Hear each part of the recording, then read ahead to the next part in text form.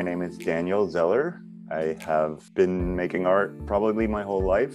I never thought of drawing as something that was, uh, you know, a career or something I would focus on. It was I was very interested in building things and making things.